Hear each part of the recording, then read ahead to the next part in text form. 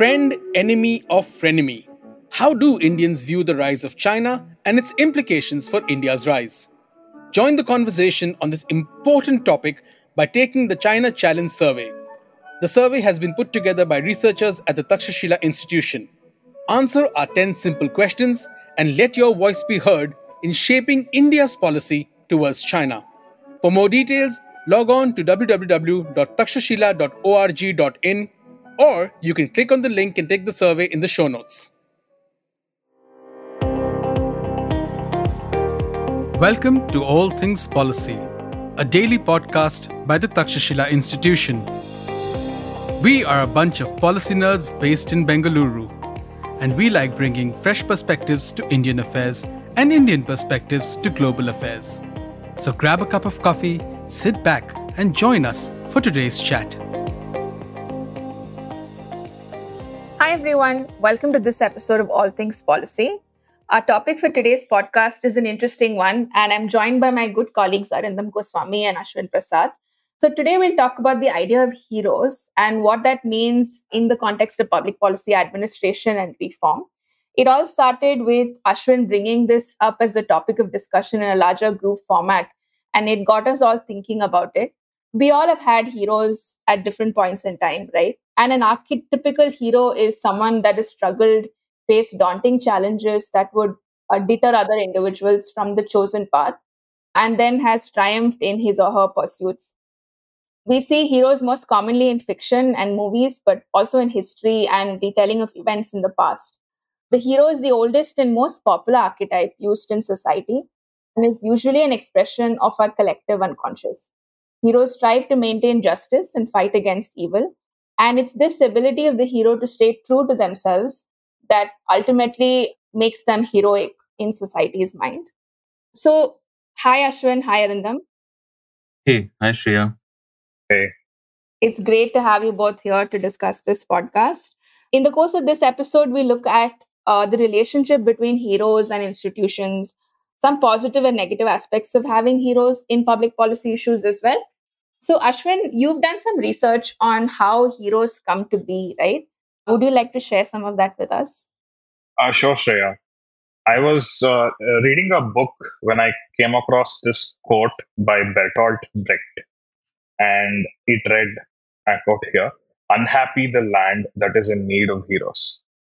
And I had not thought about it this way because I had always looked at heroes in isolation and I had never looked at them in the broader context of where they're placed in the society or in the community. And this got me thinking and and I realized that in a way it is true. You know, when a hero crops up, he is cropping up in a certain social context that necessitates a hero to emerge and do something or solve something and and i realized yeah is that actually a representation of a certain ailment in the society? Is that a symptom? And i started to dig further into this. And the first question that we can answer in this is why do they emerge? Or what are the reasons why heroes emerge? And uh, i came across this sociologist orrin klapp he has written a wonderful paper called Hero Worship in America. And though it's uh, it's relevant uh, globally, it is not restricted to even the concepts are not restricted to a single continent. And broadly, what I could find from my readings was there are some biological reasons. Since we are uh, a social species, we are always looking for people or individuals to imitate as we learn and grow and adapt to our surroundings. And we always need that concept of an alpha ape to follow in the footsteps of. And so there is a biological angle to it, but for the conversation that we're going to have today, the sociological reasons are more relevant. And uh, Klapp gives a few steps in how heroes are created and worshipped. Uh, it all starts with a spontaneous popular homage an event happens where the hero might have acted in a certain way or done something, and that results in a popular homage to the hero, which is not something that is orchestrated or organized. It cannot be, it has to be spontaneous. This is followed up with a recognition of this honorable act or this individual for whatever they have contributed. And it is a formal recognition. This can be done by the state or by some other authority that holds legitimacy in the society. And then you have this building up of this legend of this person as the news of their deeds spread across the land. And they are commemorated everywhere. And finally, the legend turns into a cult. And at this point, the hero loses control of their own representation. And it's the public that has ownership of what the hero is and what they represent. So, in a way, if you think about it, heroes are very distant from each of us because they have achieved a social status that is at the top of the social hierarchy. And none of us will ever achieve that unless we become a hero ourselves. But even if we do, then we probably become one in some other context. So this social hierarchy is a very unique position. And yet they are brought close to our lives through this concept of worship or, or you know veneration and they are brought into our homes our lives. They're told as in the form of stories the form of anecdotes. So it's a at this point they are a symbol.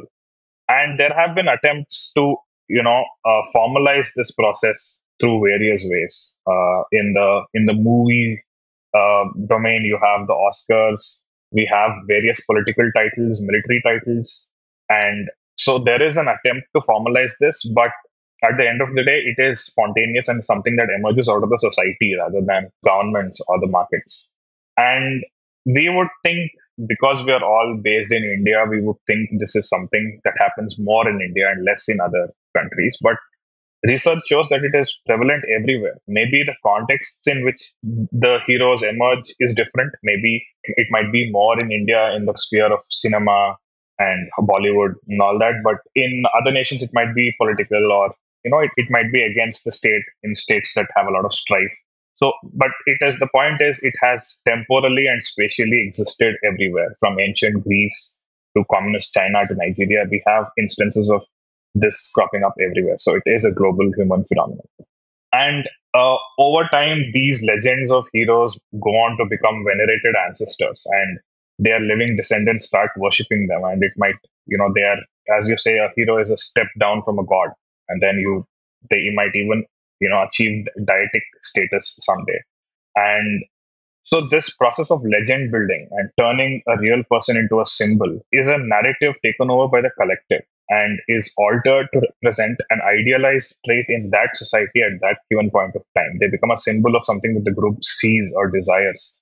And it is used to reinforce social values and norms and heroes then provide a symbolic example of what people can and should strive for in the society. And it is antithetical to the current power, maybe, or it is worship in a, a form of worship or practiced. It, it might be practiced underground in, in a form of revolutionary movements. It can be anything depending on the context in which the society functions. So, uh, you know, this is, uh, there are instances of heroes being used to drive narratives and social movements also throughout the world. So all of this begs the question of how do we look at heroes in the lens of public policy? Are they antithetical to the concept of institutions that we're trying to build in in our course of policy change and policy optimization? Are they a good thing that are tools to be used to drive change, or are they something that needs to be suppressed through the use of institutions and accountability is is a system uh, a better tool for public policy rather than a hero. Uh, i would love to hear your thoughts guys. What what do you think? Yeah lots to actually double click on what what what ashwin said. So starting from like one of the first points that he mentioned uh, is there some lacuna in society? Is there something uh, lacking in society which makes people want to have heroes, right? So uh, the other day uh, uh, we were talking, right? Uh, for example, in in India's context, right, we vote for, for example, we vote at the national level, we vote at the state level, and then probably we vote at the corporation level, right, or at the or at the third tier of uh, Panchayati Raj institutions, right? Uh, but uh, that is just three levels of uh, uh influence that a voter or, a, or the public has in uh, in terms of influencing public policy or even politics, right? Uh, compare that to maybe some some place like the US where people are voting for not just these three four levels, but even like say for the district attorney and all those other levels also, right? So there's many more avenues of public participation and um, ways in which people can uh, influence public policy. So that sort of makes we as Indians want to think of people as heroes who can probably drive change in society, right? So leaders or heroes, right? I mean, um, leaders and heroes pave the way for decisive change. They are catalysts for change, right? And uh, in that sense, we want to look up to them because we probably don't have the wherewithal. We as people don't always have the power to bring about change unless it's via some hero, right? So that's one point and then there was, there was one thing the, there was another thing that you mentioned about this then becoming a sort of a worship right? A sort of hero worship that it changes into right? So uh, ambedkar uh, had a very interesting thing to say on this right? In his last speech to the constituent assembly right? He had he had made this uh, statement and i quote uh, bhakti in religion may be a road to the salvation of the soul, but in politics, um, bhakti or hero worship is a sure road to degradation and to eventual dictatorship, right? So this is a very, uh, very important thing to keep in mind that heroes may evolve because of some particular work in a specific field, but then we, because we uh, put them upon a pedestal and we look at them as demigods, probably,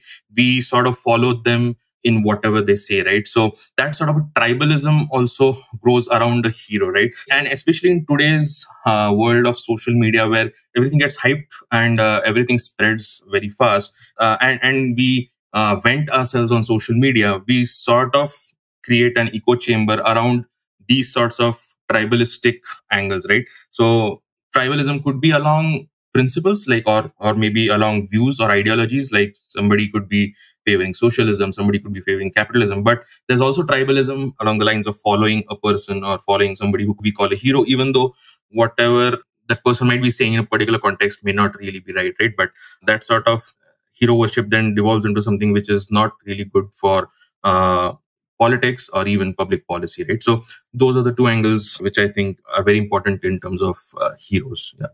Just sort of again double clicking if i'm going to quote arindam on what you both have said right? I'm getting the sense that based on also some of the research about the hero archetype right? How it's a representation of society's unconscious. But it's hard to identify where these hero narratives come from uh, at any given point of time and why they're so popular why they gather so much attention from people in society. And with which is why i thought just to you know give more insight what if we sort of look at the relationship between heroes and institutions right? In public policy it's always understood that great institutions give us the best chance to create good policies for a long period of time. How do you think heroes fit into that whole idea right? Like if we're looking at institutions we're thinking of good safeguards um, a history of good policy making, robust feedback mechanisms. Whereas what we know about heroes is that they're bold, they stay true to themselves, they are independent in thought, fearless, conviction, innovative, all of that. Do you think institutions have the capabilities of embodying these traits that heroes bring to the table? Uh, I think that humans have an innate need to anthropomorphize things that they extend empathy towards. And so, for instance, we all at some level anthropomorphize the Indian map, which is why Kashmir is so important to us because it's like the head. And cutting off that head feels very, uh, you know, uh, very hard for us to uh, accept. So the problem is with institutions, you can never anthropomorphize them. And even for a very well functioning institution, we always need a face of that institution to represent them, that entire institution organization in our heads. And that is why I think heroes are well placed to, you know, drive policy change and institutions can silently do the work in the back. But the problem is when the public, or maybe this is an open secret amongst policymakers or the people inside that institution, but when the public, when the the masses, the public at large, start viewing things in this lens of looking at individuals uh, as the face of the institution or who the individuals driving the institution itself rather than the institution doing all the work. Don't you think it distracts from the systemic issues within the workings of that institution or the problems that they're trying to solve? Because you're placing a lot of onus on that person getting things done or being responsible for solving the issues. And it's it is also it might even have a negative impact on the institution people within that institution or organization too because it absolves them of responsibility. And there's a lot of responsibility is placed on the individual or the face. And therefore ultimately undermining collective responsibility and action. It might even be that the people if they can come together they can do they can uh, you know do have a huge impact on in certain areas but they always just delegate it or leave it to the heroes to do it. And so you this entire focus on the individual rather than the collective, I think has more of a less desirous impact than a good one in, terms of policy. Yeah. yeah. You know, Ashwin, on that, right? From what I gather about heroes, apart from the ones that you mentioned that are completely spontaneous and right place, right time kind of heroes, I would like to imagine that heroes are also individuals who find themselves someplace and decide to take a certain set of actions to change something in that institution or on that issue. So I would like to believe that heroes are pretty self motivated, at least for that given point in time or for that specific goal. Now it's later that, you know, once this activity is done and this hero what the hero has done is publicized and it becomes common knowledge then of course you know there is the narrative that oh we needed someone like this to come change that. You know oh when will this issue get solved? We're going to need someone who's going to come change that. But it's always said retrospectively when an individual like uh, i have trouble saying hero again and again when a motivated individual is working on an issue society is not clued in at that point in time they're clued in later once you see results, once it's talked about, by which time it's also possible that that action has finished, result has been reached, and now we are just promoting that. It's quite possible there might be another individual or another set of individuals at that point taking action or doing different things, which will then. So I think the trickle down effect is a little slow in terms of information but once it's in common imaginations it sort of takes really strong hold and then it sort of has a life of its own like i was saying earlier you know you see lots of people are doing lots of amazing things around us right but you still see only certain things catch a lot of momentum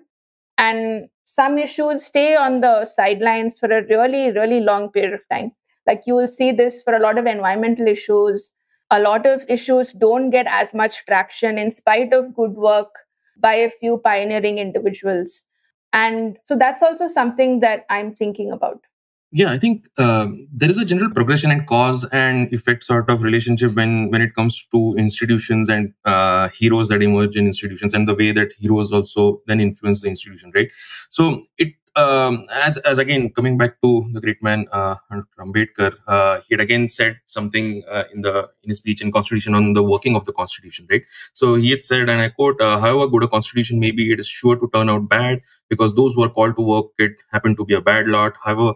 However bad a constitution may be, it, it may turn out to be good if those who are called to work it happen to be a good lot, right? So, just to take an example, right? If we consider the Election Commission of India, and, and Mr. T.N. Seshan, right? So the same election commission before the advent of Mr. T.N. Seshan had the same set of rules, same set of laws uh, that were already there in place uh, to govern the working of the election commission. It was supposed to be independent. It was supposed to be bold. It was supposed to not bow down to authority, right? But we've known about while while the election commission has done a great job of conducting elections across this vast country of ours there have been cases where it has been accused of not being partial and and those sorts of things right but suddenly someone like mr tn seshan comes in and uh, he doesn't believe in bending the rules or giving leeway. He upholds the rules, doesn't count out to any uh, government official or, or the politicians. And uh, that sort of changes our perception of the institution, right? It probably also makes the people involved in the entire election machinery to you know uh, suddenly become uh, more vigilant about their uh, responsibilities right? And suddenly uh, the image of the election commission in the eyes of the people changes right? Now so the institution was there the rules were there but election commission as such was not looked at as a hero right? So again coming back to whether institutions can be heroes right? But with the advent of mr tn seshan and the way he handled the election process. Uh, I mean, if you read his autobiography, there are he's mentioned multiple examples where he's you know taken some decisions which have not been uh, to the liking of powers that be, right? Even to the extent of saying that he could postpone elections if if you know, certain conditions were not met and those sorts of things, right?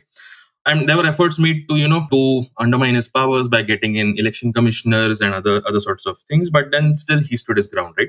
And after that, we have sort of developed a different image of the election commission, right? And even now, in the face of evidence to the contrary, we still believe the EC to be very impartial, right? I mean, we've had some questionable behavior part of the election commission, you know, not really giving a keeping a blind eye to various transgressions on both on all sides, right? So, uh, despite that, we still believe in the election commission. So, the election commission, for example, has now become a sort of a hero, right?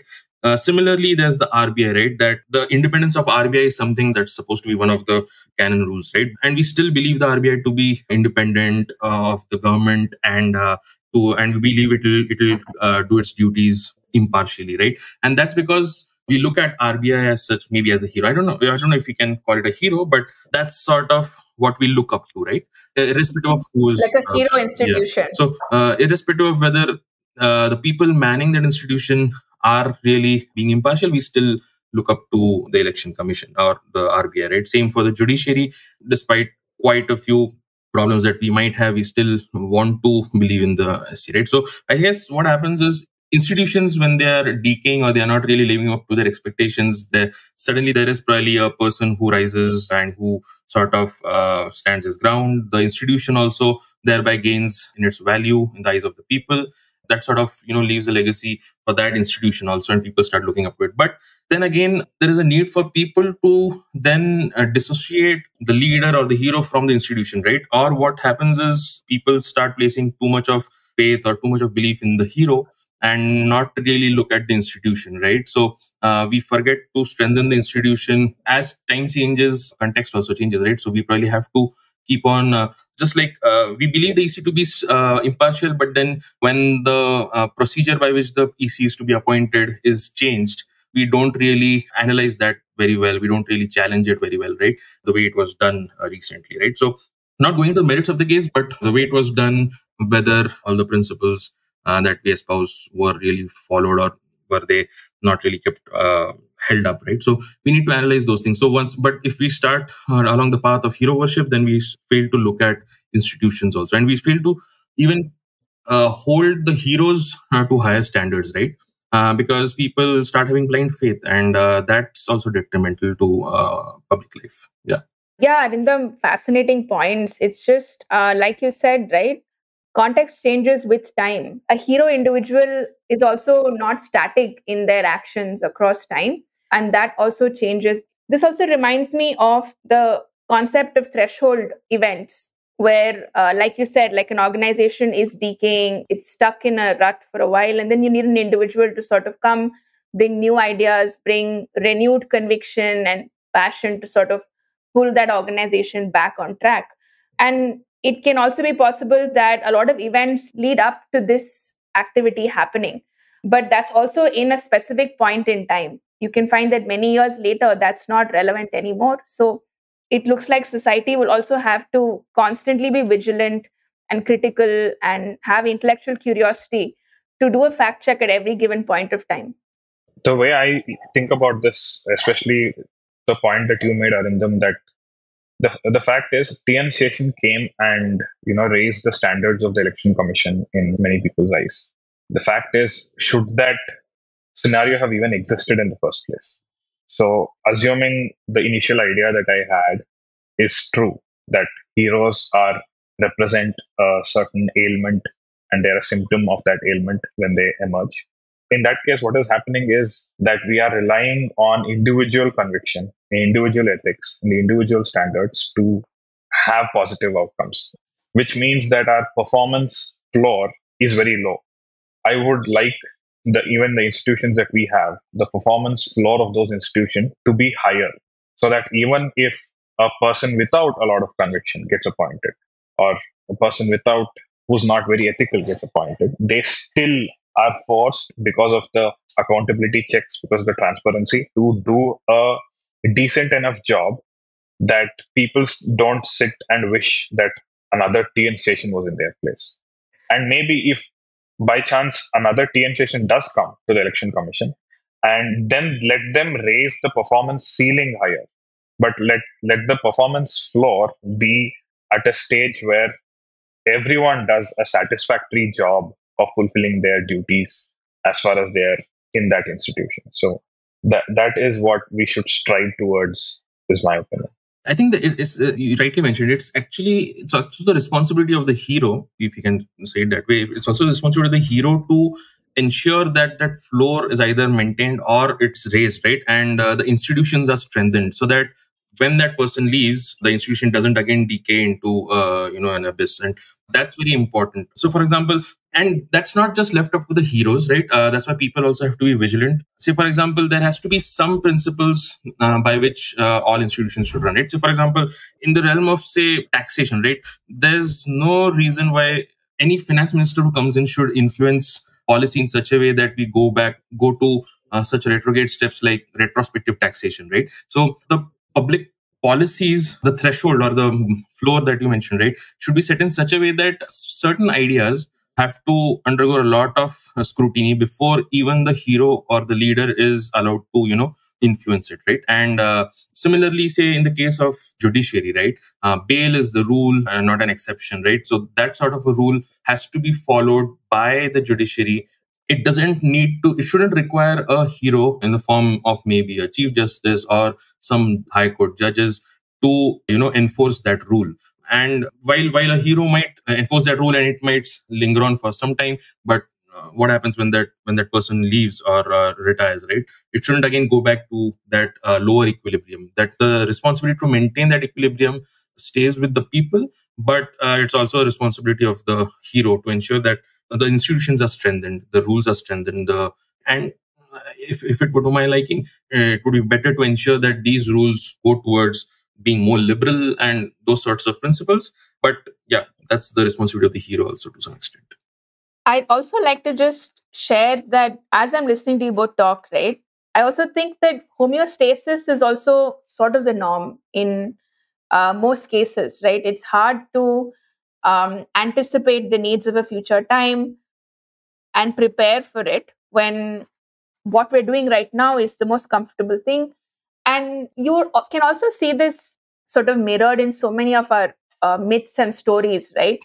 Almost all of our stories are uh, have these biblical sort of a precipice where we manage to find ourselves in and then you need someone to come help us out of it and even in in the past and in history this has happened at least in business at least where there are leaders that have saved organizations from like the brink of uh, acquisition or from ruin. And it's not like a far off thought. Now if you're going to say how did we get to this? That seems like a mixture of just being comfortable where you are uh, not being vigilant enough uh, improper risk assessment. There are multiple things that can go into it and it can also attribute it to complex systems, emergence.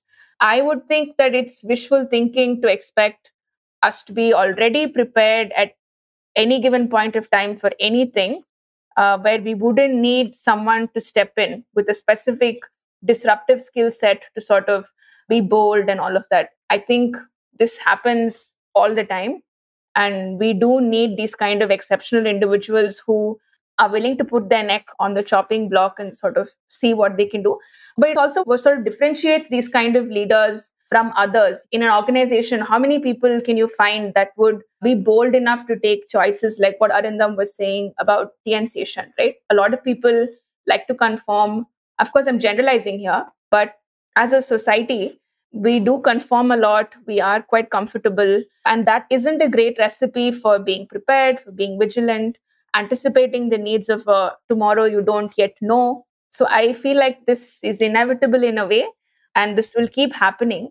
Yeah, uh, I think it's, it's a good point that you mentioned about homeostasis, right? So, I mean, the body always tries to you know in the context of public life also right our society there'll be there'll be instances of high activity when a, when say a hero emerges but then the society would always come down to some equilibrium right so there was this there's an interesting uh, framework for analysis that uh, some uh, historians have used to analyze Gandhiji's uh, struggle movements, right? So it's called the struggle, truce struggle strategy, right? Where a phase of, say, a non mass movement or war of position sort of inevitably follows a phase of extra legal mass struggle, right? So we, we have seen Gandhiji, for example, have uh, have a movement and then for years there's there's nothing there's no uh, real mass movement that happens right and he was criticized for that but his, the idea was that you know people do not have the capacity to always lead a sustained mass struggle right? So similarly when a hero emerges there'll be a lot of activity there'll be new rules set there'll be new principles that will be adhered to.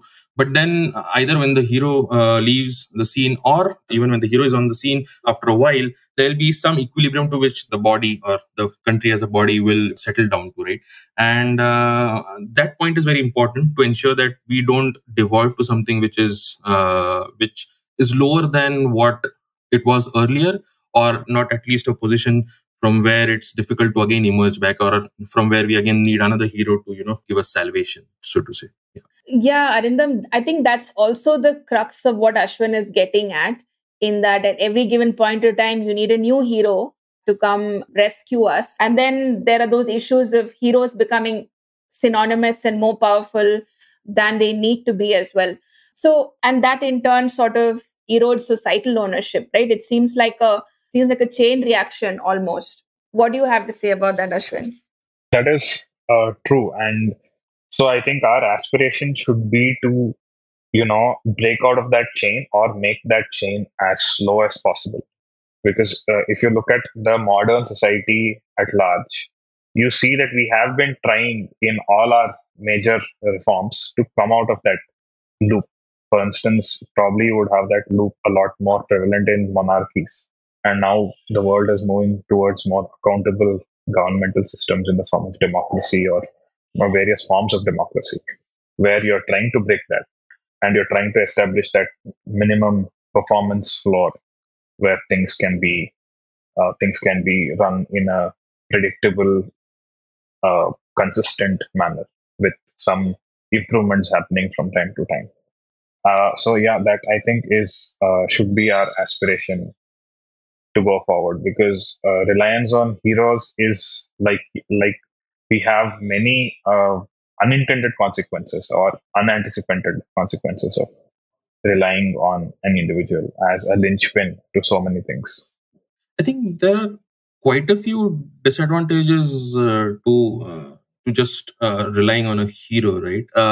there's oversimplification of like complex issues uh, the focus on that individual hero can sometimes lead to very simplistic uh, solutions to complex policy channel challenges um, that's then that's because there's a personality cult, right? Uh, that prioritizes the individual over the actual policies or outcomes, right? So, and, that individual could be resistant to criticism. So, it could be echo chambers around him. There could be yes people, uh, yes men around him. So, that sort of uh, makes it difficult to really look at the issue, and the focus is always on the individual, right? The teamwork uh, aspect of public policy, uh, political life, that's that's sort of overlooked and we, we develop then unrealistic expectations when the when the framework itself is not right we are then uh, we are we are uh, on the other end developing unrealistic expectations about what that single person can achieve right?